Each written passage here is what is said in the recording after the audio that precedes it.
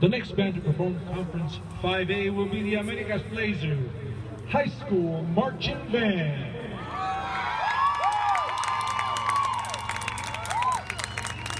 Directors for the Blazer Band are Henry Vega, Edwin Cordova. Additional staff include Gabriel Fernandez, Raymond Enriquez, Javier Gallardo. Blazer Marching Band, the field is now yours for preliminary competition.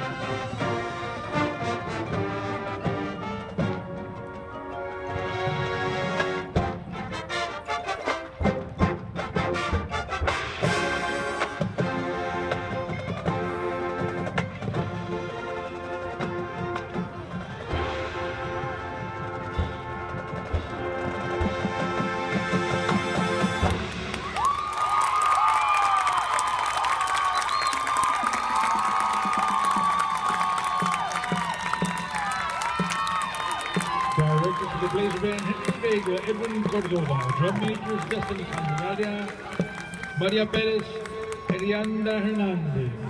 One more big round of applause for the Americas Blazer High School Marching Band, ladies and gentlemen.